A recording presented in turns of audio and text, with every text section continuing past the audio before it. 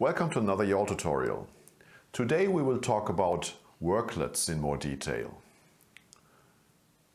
At the basis, worklets are just ordinary YAWL workflow specifications. But they are not loaded into the engine in the same way using the control center. Instead, worklets are uploaded using the YAWL editor and then they are stored in the YAWL database somewhere. And we will see how this is done in this video. When worklets are invoked using ripple down rules, as we have seen before by worklet selection, or in combination with exlets as compensating actions, they receive their parameters from the parent specification by identical names and they also return the return parameters in the same way. Worklets can be loaded into the YAWL engine either one by one or in a batch using rule sets. So how can we define a worklet? As already said, worklets are ordinary YAWL specifications. Let's take a look at our supplementary material. We have two folders here. One is the parents folder and we have the organized concert YAWL workflow specification that we have looked at in the last tutorial. And also we have a folder with worklets. And here we can see several YAWL specifications. One of them is change to mid venue. This is just one of them. And I will open this in the YAWL editor by dragging and dropping it here.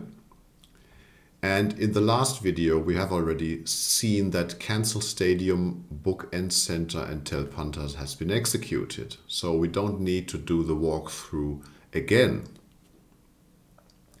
So you just define this as an ordinary workflow with the YAWL editor.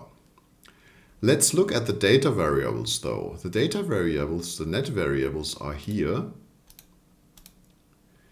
And we can see that venue cost, seating and venue name are input-output parameters. And these parameters are used in combination with the parent specification to pass parameters from the parent specification to our worklet and back. So just looking at the parent specification or organized concert, we look at do show and look at what kind of parameters we have here. And we can see that we have venue, tickets sold and seating. So these are the parameters and if they have the same name as the worklet in the worklet they are passed through.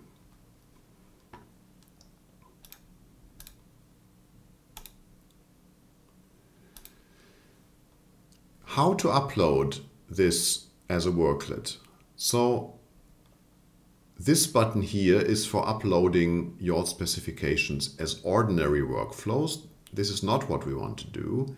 Instead, we just use this button here store the current specification as a worklet. And then this worklet is successfully added. This is one thing, and we can, if we want, upload each of these worklets one by one. The second thing is that we have defined the rules to finally invoke this worklet in the parent specification. And we are able to store this information in a file, which is an XRS file. We can look at this rules folder here, and we can see organize concert XRS. And if we open this, we can see that this is an XML file containing essentially all of the rules that we have defined. So normally you don't need to look at this, but it's a relatively simple XML file if you're interested.